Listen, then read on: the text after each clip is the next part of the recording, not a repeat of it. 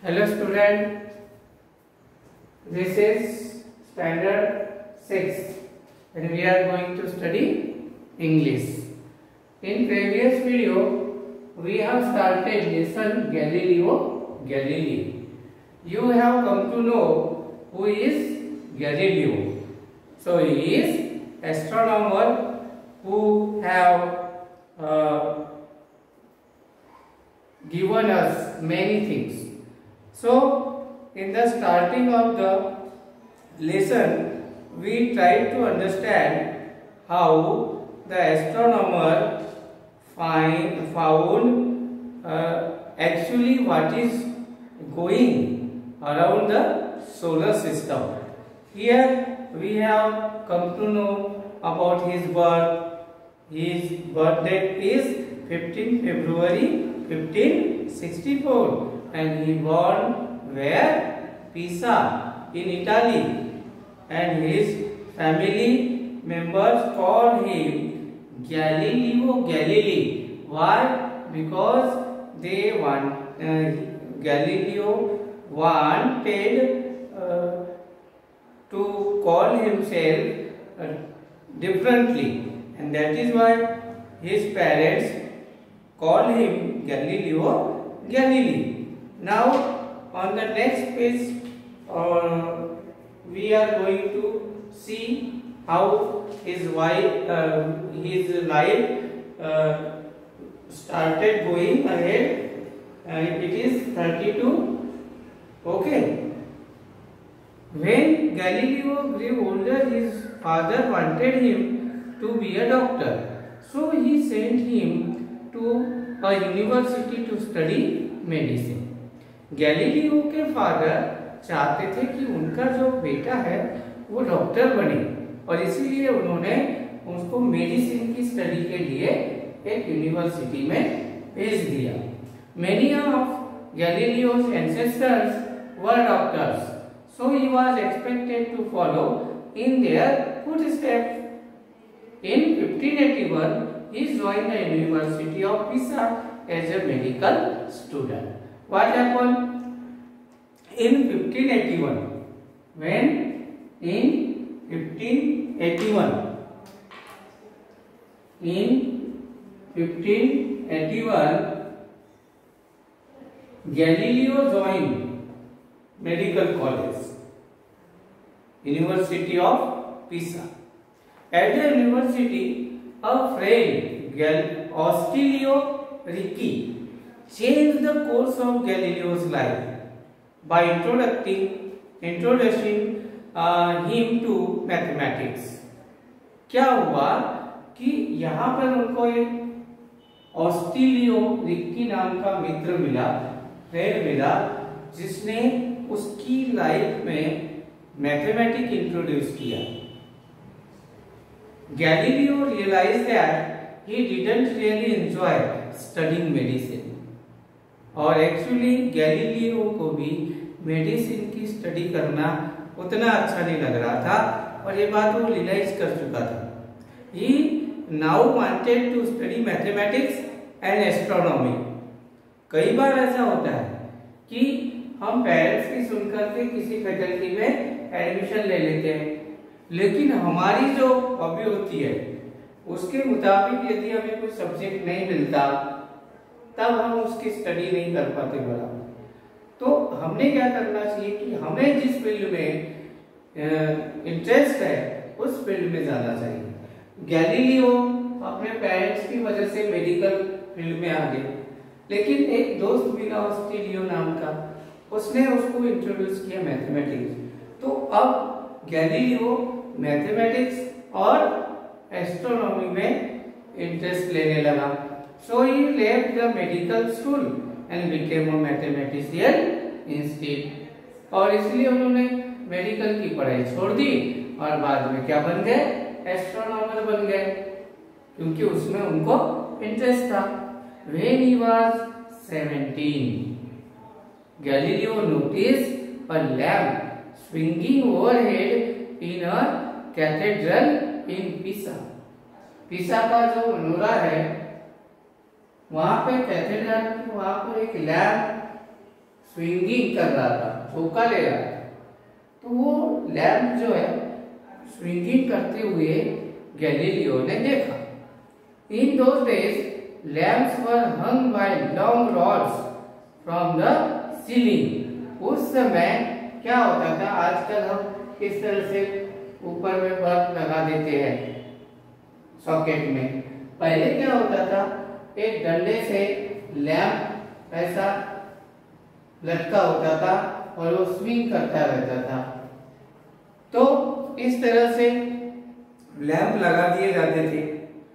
Curious to find out how long it took the lamp to swing back and forth अब Galileo की इच्छा जागृत हुई कि वो ये पता करे कि वो स्विंग करते समय कितना पीछे आता है, कितना आगे जाता है, ये पता करे। तो he use his pulse to time the long and short swings तो इसके लिए उस दूसरा उपाय तो था नहीं। तो जो लंग्स होती है अपनी, उसका यूज़ किया उन्होंने।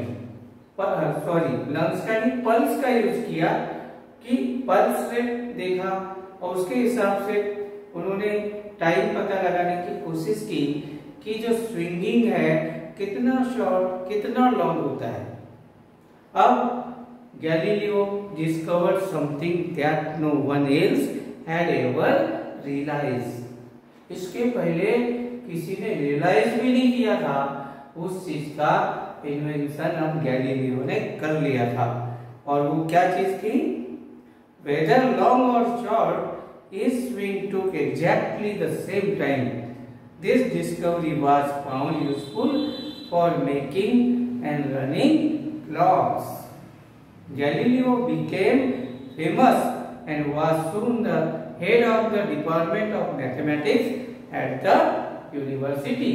इससे क्या हुआ तो ये जो स्विंगिंग का टाइमिंग था इससे उन्होंने एक रास्ता ओपन कर दिया कि जो वॉच है वॉच को एक सेम टाइम में बताती है, उसका जो स्पीड है। तो यहाँ पर बताया गया कि ये जितने शॉर्ट स्विंग करता है, उतने ही लॉन्ग स्विंग करता है। और दोनों का जो टाइमिंग है, वो सेम है। तो इससे क्या हुआ, जो हमारे शॉर्ट स्विंग लॉन्ग स्विंग तो अपनी वॉच में भी लॉन्ग हेड होता है शॉर्ट हेड होता है। मिनट हेड होता है आवर हेड होता है। तो उनको की जो स्पीड है, वो हमें उससे निश्चित करने का एक रास्ता ओपन हुआ। इस बात से वहाँ यूनिवर्सिटी के जो हेड है, वो खुश हुए और इन्हीं को मैथमेटिक डिपार्ट का हेड बना दिया गया। In his spare time too Galileo live to do various things खाली समय में, आप भी खाली समय में कुछ न कुछ करते रहते हैं। तो गैलीलियो भी अपने स्पेयर टाइम में कुछ चीज़ें करते थे he. Experimented with all sorts of different things he put water into a glass bulb and notice that the level of the water rose if the glass was heated and fell as it cool down he had invented the first ever thermometer. Thermometer का invention कैसे लगा? तो एक एक glass लिया, उसमें water लिया गया, उसमें हीट दी गई बल्ब डाल दिया गया। बल्ब डालने के बाद पानी हीट हुआ और फिर वो जैसे जैसे हीट होने लगा वाटर गर्म होने लगा और ये उसका लेवल बढ़ने लगा तो इस तरह से वो फॉल हुआ। तो इससे क्या किया? गैलीलियो को एक रास्ता मिला और इससे थर्मामीटर का इन्वेंशन हुआ। थर्मामीटर क्या होता है? हमारे बॉडी का टेम्परेचर बताता है। तो इसका शुद्ध 1609 ज़ीरो यानी 1609 में Galileo heard about the new invention call the telescope which have been made with two lenses telescope का शोध हुआ। कब हुआ? 69 में। तो गैलीलियो ने सुना कि एक ऐसा टेलीस्कोप ढूंढ लिया गया है जिसके टू लेंसेज है। He decided to build a telescope and use it to look at the universe. उसने दिमाग लगाया कि एक ऐसा टेलीस्कोप बनाया जाए जिससे हम यूनिवर्स को देख सके। तो until then people had only been able to guess what the universe was but Galileo was actually going to look at it and find out the truth अब तक क्या था? कि लोग अपने अपने हिसाब से यूनिवर्स को एक्सप्लेन करते थे। पर गैलीलियो चाहता था कि वो एक्चुअल में यूनिवर्स में क्या हो रहा है? इसको वो टेलीस्कोप के द्वारा देखे और लोगों को बताए। So he built a telescope that made things appear to be 20 times bigger than they actually were तो उन्होंने टेलीस्कोप जो बनाया, वो ऐसा टेलीस्कोप था कि जो एक्चुअल चीज़ें हैं यूनिवर्स में, वो अपने साइज़ से 20 टाइम्स बड़े दिखे। 20 टाइम्स बड़े दिखे। ऐसा टेलीस्कोप बनाया he look at the Milky Way and discovered that it was made up of millions of stars is at a different distance from the earth. अब जैसे टेलीस्कोप का शोध लगाया इन्होंने तो यूनिवर्स देखा। अपना मिल्की वे जो है, आकाश गंगा, उसको देखा। और पता लगाया कि यहाँ तो बहुत मिलियंस ऑफ़ स्टार्स है और उनके जो डिस्टेंस है वो भी पता लगाने की कोशिश की अर्थ से if the universe was radian glass sphere as everyone thought it was then all the stars would be at the same time same distance from the earth अगर यूनिवर्स एक ग्लास है मान लो तो सारे जो स्टार्स है है ना? अगर अब चपटा है मान लो यूनिवर्स तो सभी का डिस्टेंस अर्थ से सेम सेम आना चाहिए। ऐसा सोचा। पर ऐसा है नहीं। Everyone at that time thought that the moon was a smooth round ball. Galileo discovered that it was not so. सब लोग उस समय समझते थे कि जो मून है, ये कैसा है? स्मूथ राउंड बॉल है। स्मूथ है। पर गैलीलियो ने पहली बार बताया कि ऐसा नहीं है तो है कैसा? तो when he look at the moon he discovered mountains valleys and craters also तो जब इन्होंने मून पर पता लगा लिया कि मून भी अर्थ की तरह ही माउंटेन से बना हुआ है वैलीज से बना हुआ है क्रेटर से बना हुआ है होल्स है बहुत सारे है। ना? एक्सप्लोजन होता हो वहाँ पे। इस तरह से बताया तो लोगों की धारणाएँ बदल गई। he discovered that the planets mercury and venus pass through phases just like the moon और जैसे मून अपनी कक्षा में घूमते रहता है और फेजेस बदलता है, उसी तरह से मर्क्यूरी और वीनस मर्क्यूरी और वीनस भी अपने फेजेस बदलते रहते हैं। ये बताया सबसे पहले गैलीलियो ने। The only way they could do that was if they circle the sun and not the earth. और इसीलिए ये बात भी क्लियर हो गई कि वो जो प्लेनेट है वो किसको सर्कल करते हैं? सन को करते हैं, न कि अर्थ को। तो बच्चों, इस तरह से जो गैलीलियो है, इन्होंने किन किन चीज़ों का शोध लगा लिया?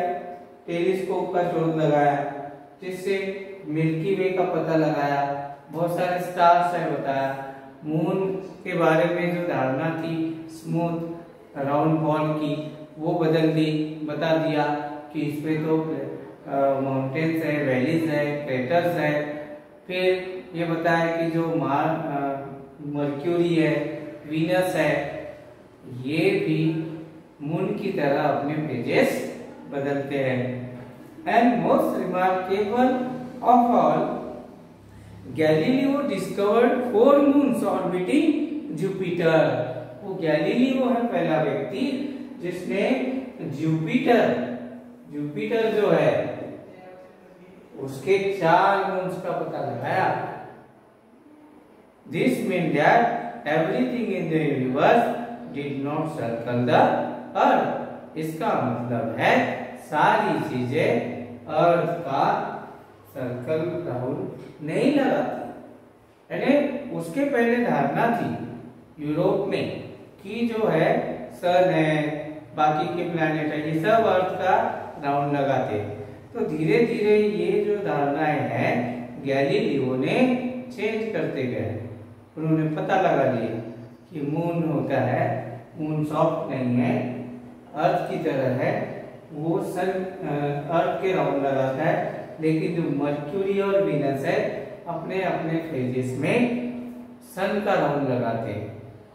तो इस तरह से ये लेसन आगे बढ़ता जाएगा। फिर नेक्स्ट वीडियो में हम और गैलीलियो के इन्वेंशन की चर्चा करेंगे।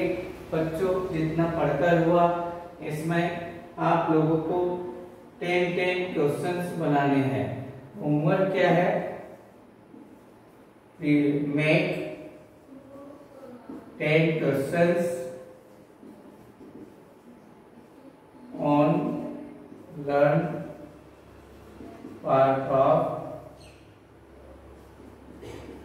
lesson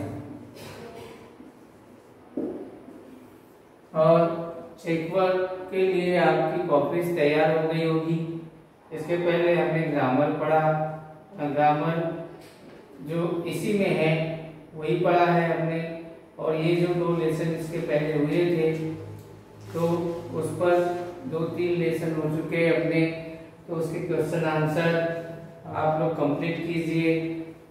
और फिर से एक बार जमा करना है आपको। तब तक के लिए बाय।